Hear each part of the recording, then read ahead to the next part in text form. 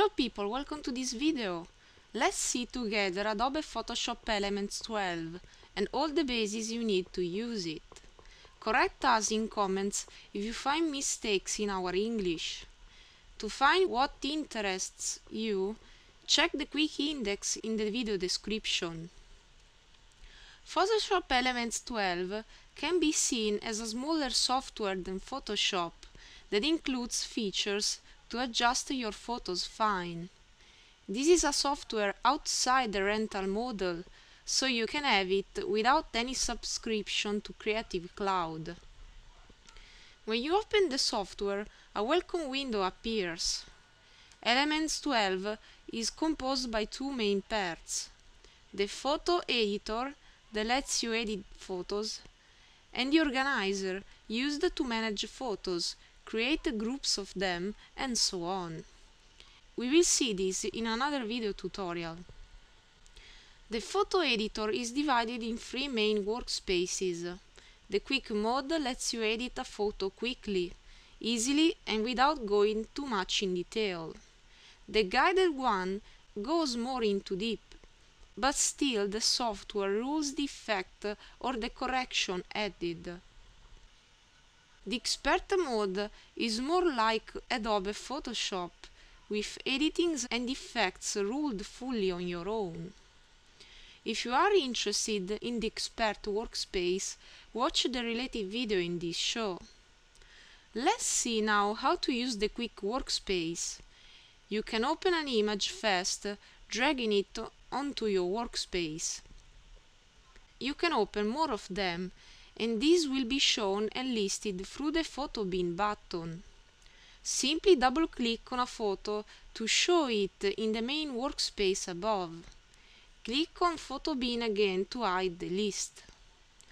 Above the workspace you can use the zoom bar to zoom in and out. This can be done anytime holding Alt down and using your mouse wheel. View on the left lets you see the after and the before of the photo interested. After simply means the photo after your corrections, whereas before is how the photo looks like originally. You can show them both to see better the differences. Below you have some important buttons. Rotate rotates the image following the direction of the icon clockwise or not. Next to it you have the undo and the redo buttons to go backward and forward your actions done. Then you have the organizer button that opens the organizer. Tool options shows the settings of the current tool used. These tools are fully listed on the left. They are divided into groups, the first one collects all the tools to view your image better. To zoom you can use the zoom tool too. The Hand tool is useful when the image is enlarged in your workspace and you want to move to another part of the image. You can activate it anytime holding space down. The second group of tools edits the photo instead. The red eye removal tool is used to remove red eyes. Simply click and drag to create a rectangle. This must cover almost the whole eye to remove the red color successfully. Use whiten teeth to enhance people's teeth in your image. The corrected area will be indicated under dashed contours. Spot Healing Brush tool is used to make people's faces more perfect. It can correct spots, small injuries, and red parts of the skin, and so on. Simply brush on the interested area to make it more uniform. In the tool options you can choose the other tool, the Healing Brush tool, that is better in case the bad part is too big to be covered with the Spot Healing Brush tool. In this case you need to define a source. Hold, hold down and click to set the source, so where the brush must start copying from. While you brush, it will be pasted what is below the small cross you see, that represents the source. Then you have the crop tool, used to cut off parts of the image you don't want. Click and drag to set the area. You can adjust it through the tool options below. For example, the kind of crop or the correct size. Click and drag inside to move. Drag the squares to resize.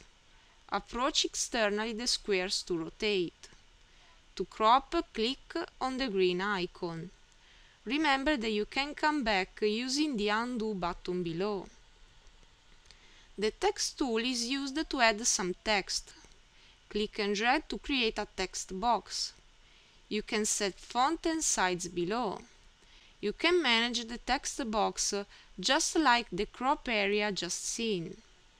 If you hold Ctrl down while resizing, you will apply this also to its text inside. If you delete the text content, you will remove the text box as well. Remember to apply using the green icon. You have other text tools here below, just to try them out. A very important tool is the Quick Selection tool. This selects auto parts of the images in a smart way. You can restart with your selection right-clicking and going to Deselect. Selection Brush tool is a selection made depending on where you brush. Selection is very important for the effects and adjustments you will apply using the panel on the right. If nothing is selected, this will be applied on the whole image. If you have selected an area, just what is inside such will be affected. You have then the Move tool. This is used to select and move objects, for example a text box or a selected area. On the bottom right corner you have other different buttons. Adjustments is used to correct the photo. Effects and textures are similar and always applied on the whole image. Simply click once to apply the effect. Use undo button to come back to the original photo. You can even add frames too. Select one and then adjust the photo inside with the Move tool.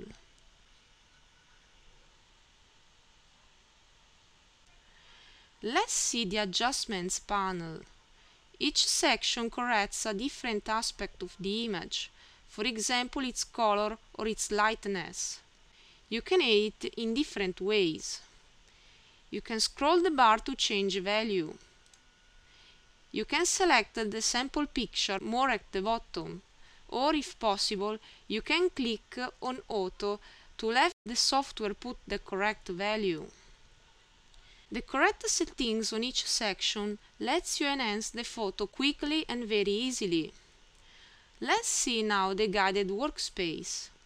On the left you find again the visualization tools, and so the view and the zoom above, and the buttons at the bottom. What changes is the panel on the right. This lets you add effects and editings more into deep than with the quick mode, since it is you that set these with not ready-made presets. There are three main sections. Touch-ups is used to enhance the photo. Photo effects to add effects the way you like.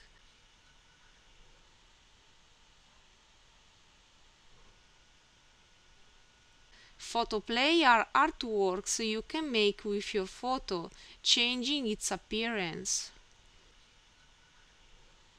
Let's see the touch-ups. When you select one of the adjustments, the panel will change.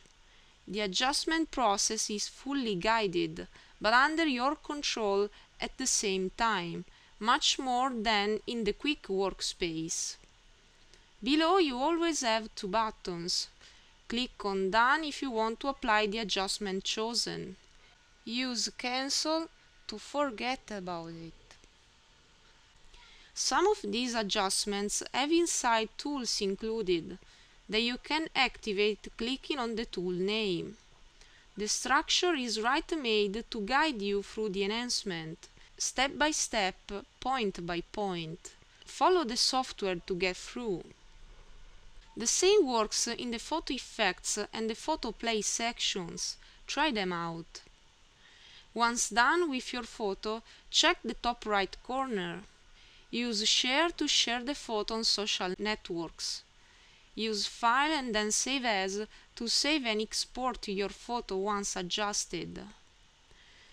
There are more things this software can do. In the top right corner, you have Create. This lets you create slideshows, calendars, photo books and so on. When you create calendars or photo books, so different pages with photos, the process is fully guided. You choose the preset, the number of pages if necessary. Then, with the Move and the Text tools, you can size and move the photo and edit the preset text, or add some of your own. On the right you can check each sheet of paper change the preset itself and the background to be used. There are plenty of options. You can fully customize the preset chosen at first. If you want to exit from the Create section, simply click on the one of the basic workspaces. You won't lose the Create preset. Simply open the photo bin. The presets and the adjusted images can be recognized through a small brush icon in a corner. When you want to create a slideshow, set all the settings and the photo duration. A new window will be opened through the organizer, showing you all to create a slideshow. On the center you have a preview of the photo and the player. Below you have the timeline. It is composed by different slides, the bigger squares, and the transitions indicated through smaller squares. The slides represent a fixed picture has a duration in time indicated below, and properties indicated through the Properties section on the right. This slide can be a unique photo, a video or a composition of them. In fact, you can drag on it photos and videos from your computer. To add new slides instead, you can click on Add Media and import from your computer or your collections in the organizer. Add blank slide adds blank slides to your timeline. Open a slide clicking on it or using your mouse wheel. Right-click and go to Delete Slide to delete it. You can add text too. Click to add text to add text on the selected slide. You can manage it through the Properties section on the right. You can edit the transitions too. Select one and go to Properties on the right to set duration and kind. You can add audio as well. Go to Add Media and choose to add audio. It will write Start when the slideshow starts. To export your slideshow, click on Output and choose Size or Location. This is all. Check our show to get more into Adobe Photoshop Elements 12. Thanks for watching.